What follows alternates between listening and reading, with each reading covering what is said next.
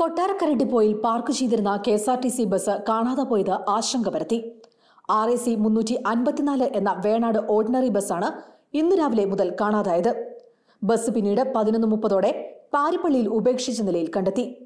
സംഭവത്തെക്കുറിച്ച് കൊട്ടാരക്കര പോലീസ് അന്വേഷണം ആരംഭിച്ചു. കൊട്ടാരക്കര മുനിസിപ്പാലിറ്റിക്ക് സമീപം ദേശീയപാതയിൽ പാർക്ക് ചെയ്തിരിക്കുകയായിരുന്നു ബസ്. ഇന്ന് രാവിലെ ബസ് എടുക്കാനായി ഡ്രൈവർ എത്തിയപ്പോഴാണ് ബസ് കാണാനില്ലെന്ന് മനസ്സിലായത്. തുടർന്ന് Kottarakkara K S R T C depot അധികൃതർ പോലീസിൽ പരാതി നൽകി. പോലീസ് അന്വേഷണം തുടരുന്നതിനിടെയാണ് ബസ് പാരിപ്പള്ളിയിൽ ഉപേക്ഷിച്ച നിലയിൽ കണ്ടെത്തിയത്.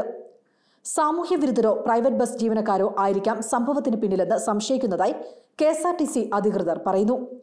കൊട്ടാരക്കര ഡിപ്പോയുടെ ചരിത്രത്തിൽ ആദ്യമായാണ് ഇത്തരമൊരു സംഭവമെന്നും അവർ വ്യക്തമാക്കി. സ്ഥലക്കുറവ് കാരണം സർവീസ് പൂർത്തിയാക്കി എത്തുന്ന K S R T C ബസ്സുകൾ രാത്രിയിൽ ദേശീയപാതയുടെ വശങ്ങളിലാണ് പാർക്ക് ചെയ്തിരുന്നത്. ഇത്തരത്തിൽ പാർക്ക് ചെയ്തിരുന്ന ബസ്സാണ് തട്ടിക്കൊണ്ടുപോയത്. അതേസമയം പോലീസ് അന്വേഷണം പുരോഗമിക്കുകയാണ്. കൊട്ടാരക്കര പാരിപ്പള്ളി റൂട്ടിലെ സി സി ടി വി കേന്ദ്രീകരിച്ചാണ് അന്വേഷണം. മൊബൈൽ ടവർ കേന്ദ്രീകരിച്ചും അന്വേഷണം നടക്കുന്നുണ്ട്. ബസ് തട്ടിക്കൊണ്ടുപോയവരെ ഉടൻ കണ്ടെത്തുമെന്നാണ് പോലീസ് പറയുന്നത്.